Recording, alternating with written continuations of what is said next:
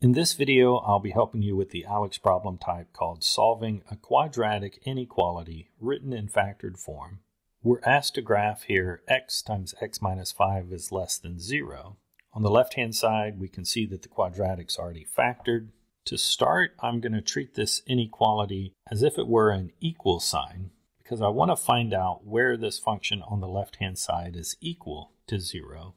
And since I have two factors being multiplied, to get 0, either the first would have to be 0 or the second would have to be 0 in order to multiply to get 0. So I have one sort of critical value here when x is 0.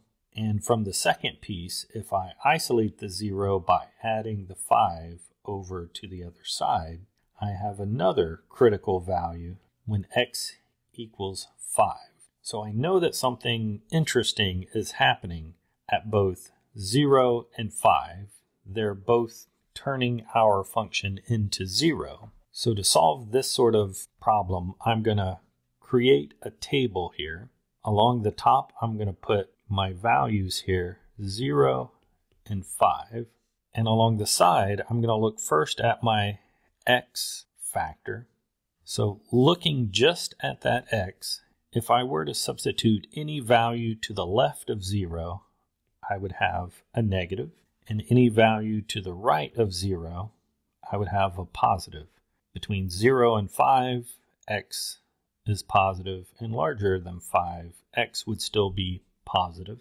And then I'll do the same looking at the second factor, which is x minus 5. If I substitute anything larger than 5, like 6, 7, 8, then that would be positive.